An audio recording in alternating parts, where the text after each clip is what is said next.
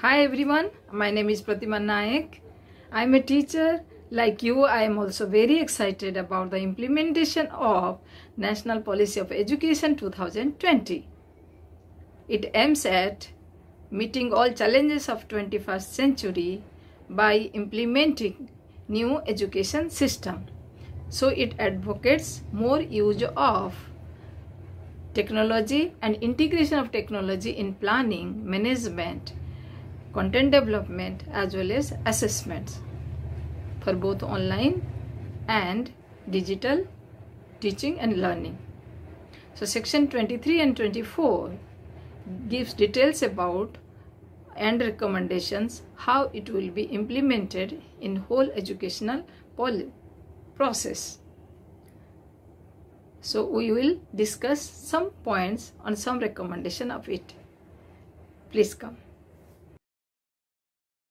So use of technology will be for education planning, teaching, learning and assessment, administration as well as management, regulation through public disclosures and most importantly, Digital India campaign. How it will be done? There will be a forum at national level, National Educational Technology Forum in short NETF, which will be responsible or which will create all environment. The functions of the forum will be improve classroom process, support teachers professional development, enhance educational access for disadvantaged groups, educational planning, administration and management. NETF will integrate new technologies such as artificial intelligence, computing devices, blockchain, adaptive computer testing, machine learning, smart boards, and many software as well as hardware.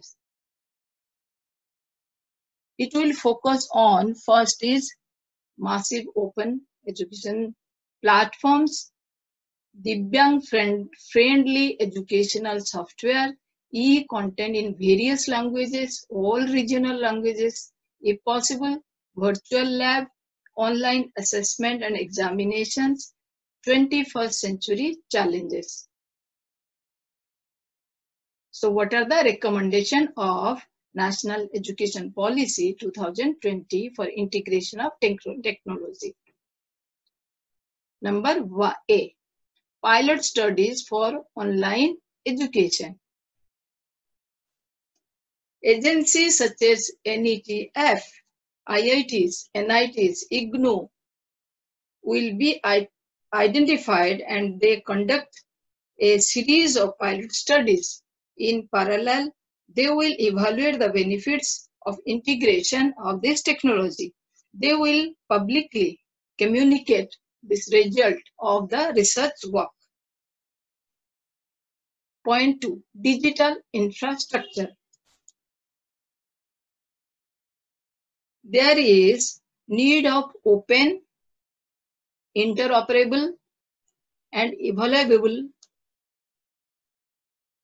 public digital in infrastructure in education sectors. It can be used, which can be used in multiple platforms to solve India's diversities. Next, C, online teaching platform and tools. There are some existing learning platform in India, Swayam, NROER, Diksha, CIT, but still this existing learning platform such as Swayam Diksha will be extended to provide both teachers and students different learning tools and contents. D. Content creation, digital repository and dissemination. Apps such as gamification of Indian art and culture in multiple languages will be created there will be development of, of many gamification app for students where they can learn with fun. E. Addressing the digital divide